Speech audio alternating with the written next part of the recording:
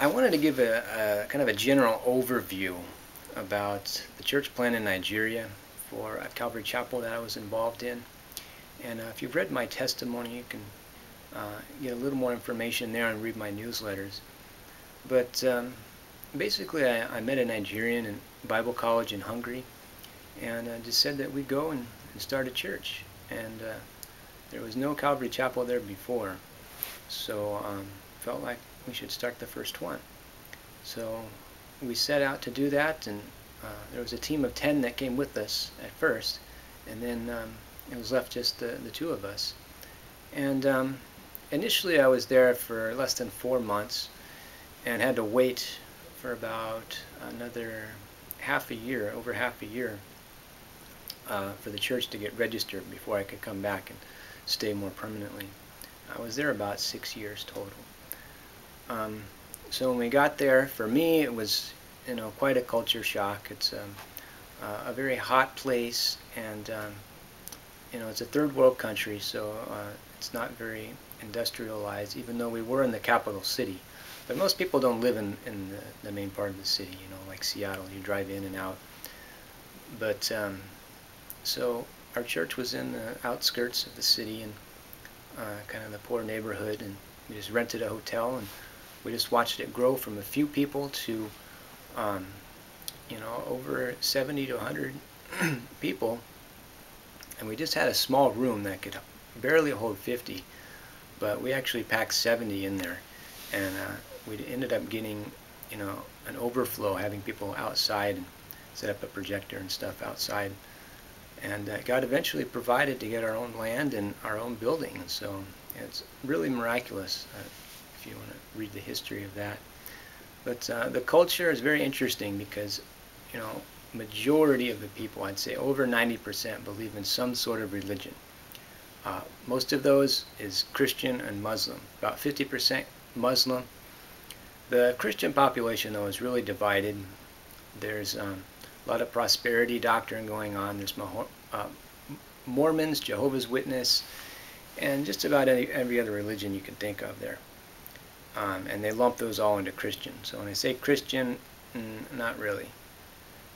Now, you'll be amazed, and you won't believe me if I say it, but there's literally churches every hundred feet or so there. Uh, on the one street where our church was, there's at least five churches in a half mile stretch. So there's a lot of churches there, but not a lot of them really teaching the Bible. And so we went there to, to really teach the Bible to the people. Um, so the conditions, like I said, are poor. You know, a lot of people don't have running water. I would say most people don't have any form of running water. They will draw it from a well. a lot of people don't have bathrooms. Um, they don't have even a kitchen. They just cook over a little stove. And we actually did that for many years, even though we were fortunate to get our own apartment. Um, you know, people ride around in motorcycles, you know, basically dirt bikes, but that's what they use for uh, transportation. You have someone driving it and then you get on the back. That's kind of like your taxi. So you see them going back and forth all over the place. And um, they do have, you know, taxis there, but uh, the cars are not in good condition. Most people can't afford them. Although there is a lot of traffic going to and from town every day, because that's where the jobs are. Um, so people are fortunate enough to have a job. So we would ride on these bad roads to church on bikes every, almost every day. Sometimes a couple times a day, because many times we would forget something, have to come back, and it was you know, at least a, a 10 or 15 minutes each way to do that. Later in the ministry, we were able to get a car and uh, eventually each get our own car. So that was a blessing, but that was not until really the last year or so. But um, it's just amazing to watch God God provide. So witnessing there uh, was very different because everyone has a belief already. So it's very hard to build on a belief, you know, tell someone to believe something else when they already have a belief system in place. It's like trying to build a house on top of a house. It just doesn't work. So you have to go and take down the house first before you can build up. And um, people have been told all these lies throughout the years, you know, just like many people here are told evolution. Uh, no one believes evolution in Africa, and everyone knows that, that there's a God. But uh, there, their problem is they believe in prosperity doctrine. They think that if they get enough money, they're going to be happy, and that's the answer to life, which um, is not true, as America is finding out right now. Um, but to witness to people, you have to know the culture because there's at least four or five main languages, not to say the hundred or so other languages that are there. So, and then you have to know who you're talking to. Is this a Muslim, a Christian? What's their belief? And so I've learned, you know, uh, pointed questions to ask people to find out what they're about. And, you know, people like uh, Jehovah's Witness uh, and Mormons, they're actually quite similar. They won't take a track. Um, they like to argue, but they won't listen to you. Um, they believe in Jesus, but they don't believe he's the Son of God. Um, you know, there's um, people who are still into the traditional, you know, type of religion where they believe in voodoo and all this kind of stuff. Um, you know, it's very strange some of the things that you'll you'll see or hear about there.